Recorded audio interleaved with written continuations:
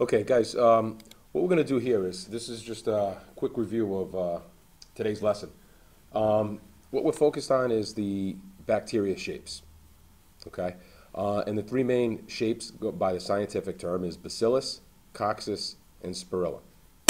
Moving forward here, here's some guiding questions. This is what you should be thinking about. This is what you should also uh, be able to answer at the end. It, it, it's information that you're really looking for that you really want to focus on.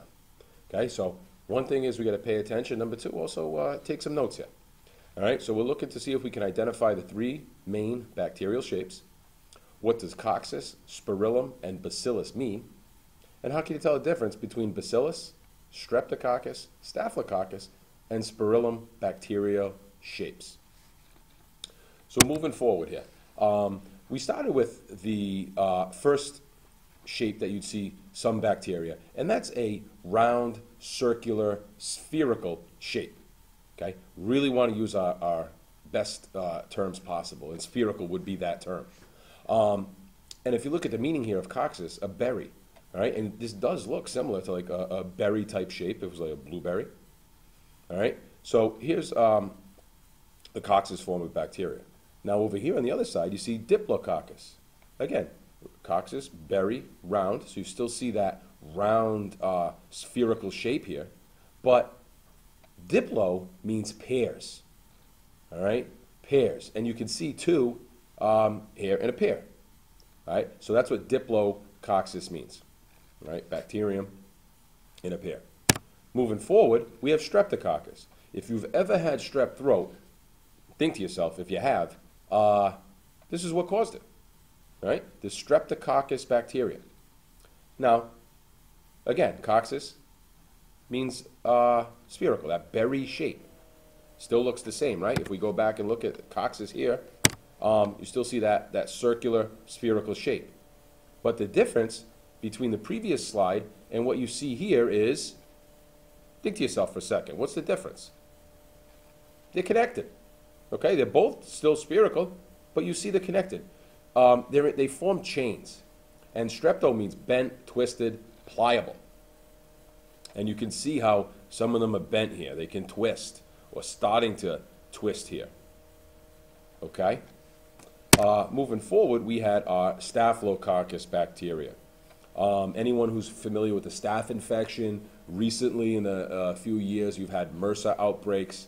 Um, and this is what it's connected to right here your Staphylococcus bacteria, hence the word staph right? And staphylo means a bunch of grapes. So you see this type of bacteria, which is usually found in the throat, on the skin, um, uh, the hair, nose.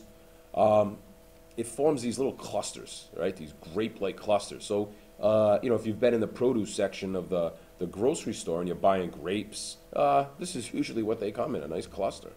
Um, and this is your Staphylococcus bacteria. Again, coccus is that spherical shape, and you can still see it, see it consistently here. Moving forward, we had um, spirillum.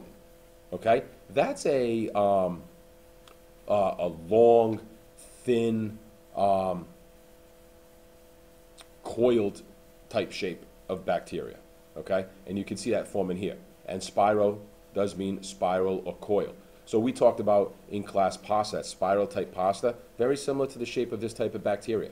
And you can see a great view of uh, spirillum right here uh, from, a, from a microscope. Okay? Um, and also, the third and final was bacillus. That's a rod shape type bacteria. You can see this. Um, you have your rod shapes uh, right here.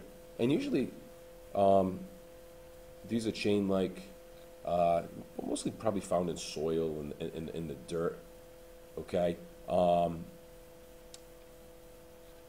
and you can see. Here's some, some individual ones back here, not a close-up view, but here, here's one right here, this guy right here. All right, you can see that, that rod uh, shaped, and here you can see that chain-like uh, shape that they, they usually form. Okay, if you're familiar with anthrax, this is the causative agent um, in anthrax. Right? So quick review. Our three shapes are rod, um, twisted or spiraled, and our coccus are spherical or round. Okay? Any questions? If you do, okay, write them down, bring them in. Okay?